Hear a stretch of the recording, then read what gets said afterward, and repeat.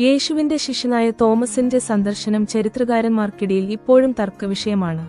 ബൈബിളിൽ അവനെക്കുറിച്ച് വളരെ പരിമിതമായ വിവരങ്ങൾ മാത്രമേ ഉള്ളൂ. സെന്റ് ജോണിന്റെ സുവിശേഷത്തിൽ തോമസ് മൂന്ന് പ്രാവശ്യം പ്രത്യക്ഷപ്പെടുന്നു. ലാസറിന്റെ പുനരുത്ഥാനം അവസാനത്തെ അത്താഴം ക്രിസ്തുവിന്റെ പുനരുത്ഥാനം എന്നിവയാണ് മൂന്ന് സന്ദർഭങ്ങൾ. സുവിശേഷത്തിൽ ദിദിമോസ് എന്നറിയപ്പെട്ടിരുന്ന തോമസ് എന്നാണ് അദ്ദേഹത്തിന്റെ പേര്. അദ്ദേഹത്തിന്റെ സുവിശേഷ പ്രവർത്തനങ്ങളെക്കുറിച്ച് രേഖാമൂലമുള്ള പരാമർശങ്ങളൊന്നുമില്ല. സിഇ രണ്ട് മുതൽ നാല് വരെ നൂറ്റാണ്ടുകളിൽ എഡസേൽ എഴുതിയ ആക്ട് തോമി എന്ന പുസ്തകമാണ് ഇതുമായി ബന്ധപ്പെട്ട ഏറ്റവും പഴയ രേഖ. ചില വ്യാപാരികൾ സെന്റ് തോമസിന്റെ മൃതദേഹം എഡേസയിലേക്ക് കൊണ്ടുപോയത് മുതൽ ഈ പുസ്തകം എഴുതപ്പെട്ടു. മെസപ്പൊട്ടേമിയയുടെ സാംസ്കാരിക പശ്ചാത്തലത്തിൽ രചിക്കപ്പെട്ട ഈ പുസ്തകത്തിന്റെ രചയിതാവ് ഒരു സിറിയൻ പണ്ഡിതനാണെന്ന് പറയപ്പെടുന്നു.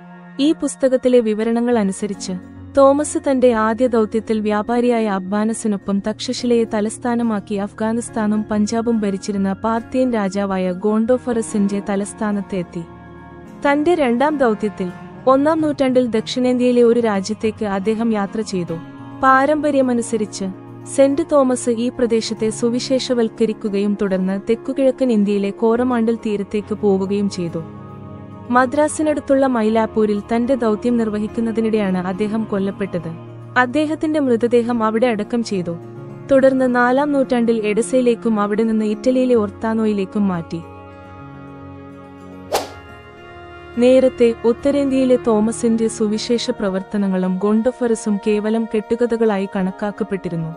പഞ്ചാബ് സിന്ധ് അഫ്ഗാനിസ്ഥാൻ എന്നിവിടങ്ങളിൽ നിന്ന് കണ്ടെടുത്ത നാണയങ്ങളാണ് ഈ രാജാവിന്റെ അസ്തിത്വം ഇപ്പോൾ സ്ഥാപിച്ചിരിക്കുന്നത്. ഗോണ്ടോഫറസ് ഭരിച്ചിരുന്ന പാർത്തിയൻ സാമ്രാജ്യത്തെക്കുറിച്ച് ലാഹോർ മ്യൂസിയത്തിൽ സൂക്ഷിച്ചിരുന്ന ഒരു ശിലാഗ്രന്ഥം ഡോക്ടർ ബെല്ലവ് വീണ്ടെടുത്തു. ഈ ശിലാഗ്രന്ഥം തക്ത് ഈ ബാഹിക്കല്ല് എന്നാണ് അറിയപ്പെടുന്നത്. ഗോണ്ടോഫറസിന്റെ ഭരണം സിഇ നാൽപ്പത്തിയാറിൽ ആരംഭിക്കുന്നു. അതായത് ഒന്നാം നൂറ്റാണ്ടിന്റെ ആദ്യ പകുതിയിൽ. തോമസിന്റെ ഇന്ത്യ സന്ദർശന കാലഘട്ടവുമായി ഇത് നന്നായി യോജിക്കുന്നു. ആയിരത്തി ഇരുന്നൂറ്റി എൺപത്തി ഒമ്പത് ഇൽ നിക്കോളാസ് നാലാമൻ മാർപ്പാപ്പ ഫ്രാൻസിസ്കൻ സന്യാസിയായ ജോൺ മോണ്ടെ കാർവിനോയെ ഇന്ത്യയിലേക്കും ചൈനയിലേക്കും അയച്ചു. കോറോമാണ്ടിൽ തീരം സന്ദർശിച്ച അദ്ദേഹം പതിമൂന്ന് മാസം ഇന്ത്യയിൽ താമസിച്ചു.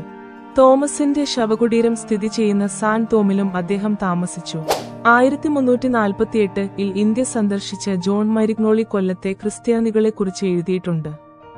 ഇറ്റാലിയൻ വ്യാപാരിയായ നിക്കോളാസ് ഡി കോണ്ടെ സിഇ ആയിരത്തി നാനൂറ്റി നാൽപ്പത്തിയൊന്ന് ഇൽ തോമസിന്റെ ശവകുടീരത്തിലേക്കുള്ള തന്റെ സന്ദർശനത്തെക്കുറിച്ചും മലബാറിലെ നെസ്തോറിയന്മാരെയും ജൂതന്മാരെയും കുറിച്ച് വിവരിച്ചിട്ടുണ്ട്.